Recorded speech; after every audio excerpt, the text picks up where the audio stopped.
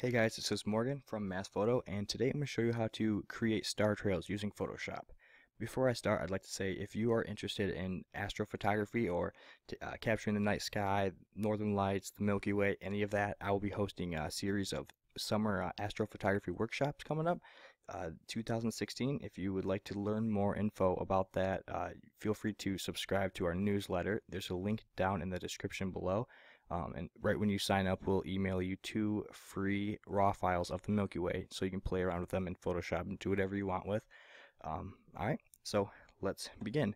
First of all, Star Trails, this is a combination of 49 different images I shot over a period of, it was probably only 20 minutes, something like that. Um, but any, anyways, uh, each uh, was, each image was a 20 second exposure, ISO 6400 and f 3.5. Uh, if you can go wider than that, uh, aperture wise, uh, do it. The more light that you can get to reach your sensor, the better. Uh, at, at, the time, that's the fastest lens I had. So that is that. I'm going to exit out of this. And Alright, this is how we start.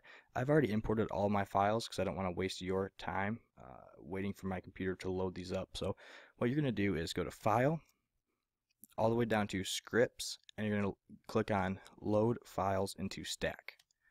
Now, if you use a tripod, you don't need to click this uh, Attempt to automatically align image source icon. Uh, if you if they took them on a tripod, then you should be fine. You're going to click Browse, and then go to wherever your images are. There we go, Star Labs. Alright, so I've got uh, all these right here. Um, I would just select all of them and then click OK. Uh, I've already done that, so I'm just going to cancel out. But if you do click OK, it's going to load all of the files right here, and then you're just going to select OK again. It's going to go through and stack all of them up. Uh, each different each file is a different layer. Um, so you can see I got a ton over here, and once that is all finished, I'll uh, I'll wait a second for your uh, computer to load your images.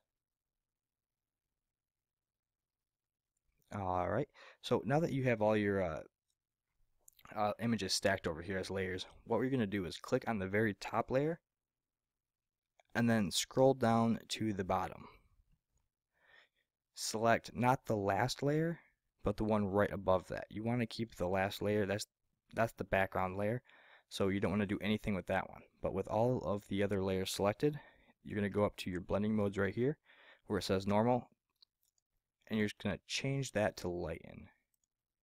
Now what that does is all the layers, whatever is uh, lighter in color or it's going to show through. So basically you can see it through all of the layers except for where the stars were at. Is keeping the, the lighter parts of the image above.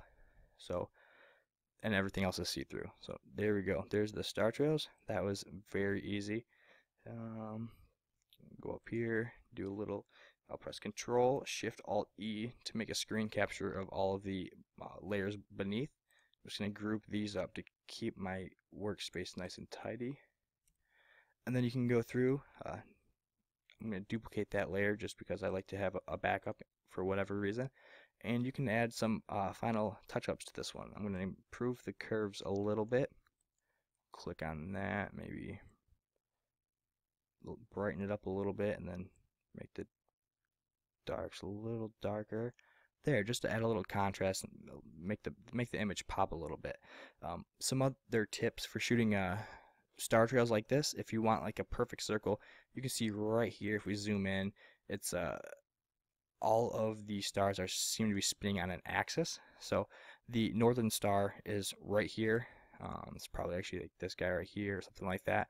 But that is where you want to face in order to get the perfect spirals like you see here. If you face any other direction, uh, the Earth obviously rotates on its axis, so you're going to get different uh, different results.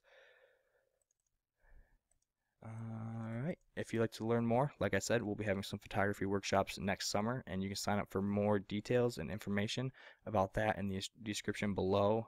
And thank you for watching. Have a nice day.